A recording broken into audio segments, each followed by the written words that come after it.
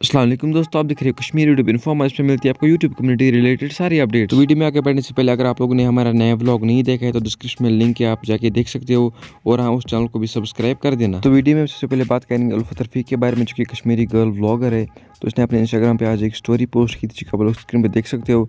इसमें उन्होंने बताया कि मैं एक दो साल के लिए ब्लॉगिंग क्विट कर रही हूँ। इसका रीज़न यही कि ये पढ़ाई के साथ बिज़ी और उसको टाइम नहीं मिलेगा ब्लॉगिंग करने का। तो देखते ये कब फिर से व्लॉगिंग स्टार्ट करेगी। तो चलिए नेक्स्ट आउट के बारे में बात करेंगे एनजून एच के बारे में जो कि कश्मीरी ब्लॉगर है। तो कल रात उसकी सिस्टर की डेथ हो चुकी है। तो फिर उसके कुछ पिक्स वगैरह कुछ लोग अपलोड कर रहे हैं। तो उसने रिक्वेस्ट की है मेहरबानी करके वो पिक्स वगैरह डिलीट जो भी लोग उसकी पिक्स को अपलोड वगैरह कर रहे हैं तो मेहरबानी करके उसकी पिक्स वगैरह को डिलीट करो और उसकी वीडियोज़ को अल्लाह आपके साथ भी हो सकता है और अल्लाह ताला उसकी बहन को जन्नतुलफरदोस अता करे। तो चलिए नेक्स्ट आउट के बारे में बात करेंगे। हुसैब सुल्तान के बारे में आप लोगों को तो पता है वो कुछ टाइम से कुछ ब्लॉगर्स को पोक वगैरह कर रहे हैं बोल रहे हैं कि वो अपनी दादी की वजह से व्यूज़ कमा रही है लड़कियों की वजह से अपनी बहनों की वजह से। तो फिर आज़म फारूक ने उसके ऊपर एक वीडियो बनाया उसमें हमने सारा कुछ डिटेल में बताया तो आप ये वीडियो क्लिप देख लीजिए आपको खुद ब खुद सब कुछ समझ आएगा। Hey गाइज़ कैसे हो सभी लोग? गाइज़ आपको मैं आज एक बात बताना चाहता हूँ कि कुछ यूट्यूबर्स है ना कुछ ना कुछ मैं सारे नहीं बोल रहा हूँ कुछ यूट्यूबर्स ठीक है? वो जर रहे हैं आजकल। वो भी किन से जर रहे हैं? अपनी भाइयों से अपनी कश्मीरी यूट्यूबर से। क्यों जलते उसका रीज़न भी होगा ना। उसका रीज़न है कि उनकी चैनल जो है यहाँ पे पहुँच रही है इस टाइम टॉप पर और उसकी चैनल अभी भी यहाँ पे है। अभी भी ना यहाँ पे है, ठीक है? जो भी नया आ रहा है ना, उनकी चैनल यहाँ पे जा रही है। वो खाली एक बात बता रहा है।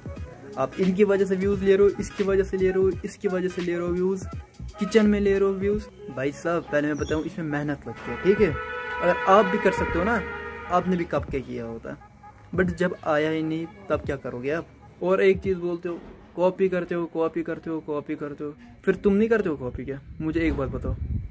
क्या तुम पहले मोटो ब्लॉगिंग करते थे? हुँ? हम्म? तुमने किसकी फिर कॉपी की यहाँ पे? मुझे बता ज़रा। है? तुमने नहीं फिर कॉपी की? अगर तू कॉपी नहीं करना चाहता तू अपना कुछ ऐसा कंटेंट निकालना जो इंडिया में किसी ने नहीं किया होगा। ठीक है? और हाँ मेरी एक बात याद रख लेना। वो सब आपको कभी रिप्लाई नहीं करेंगे। कभी ना, कभी भी नहीं करेंगे रिप्लाई आपको। आपको क्या लगता है? वो मुझे रिप्लाई देंगे तो मेरी भी चैनल शायद ऊपर जाएगी। भाई ऐसा कभी भी नहीं होगा। कभी भी ना कभी नहीं ऐसा होगा ठीक है? ये याद रखना तो चलिए नेक्स्ट अपडेट के बारे में बात करेंगे। आमिर माजिद और इश्तियाक जी के बारे में आप लोगों को तो पता ही कि इश्तियाक जी ने रिसेंटली एक डिश निकला था आमिर माजिद के ऊपर। तो फिर उसमें जानू स्टैंड ने कमेंट किया जो कि आप लोग स्क्रीन पर देख सकते हो।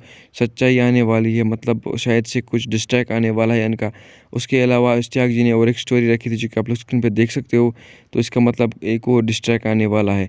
तो देखते हैं वो डिस्ट्रैक कब तक आएगा। और इसके अलावा बैकग्राउंड में जो व्लॉग चल रहा है मेरा है तो जाके ज़रूर से देख लें डिस्क्रिप्शन में लिंक है और बस इतनी आज की वीडियो मिलती है किसी नेक्स्ट वीडियो में, तब तक के लिए अल्लाह हाफिज़।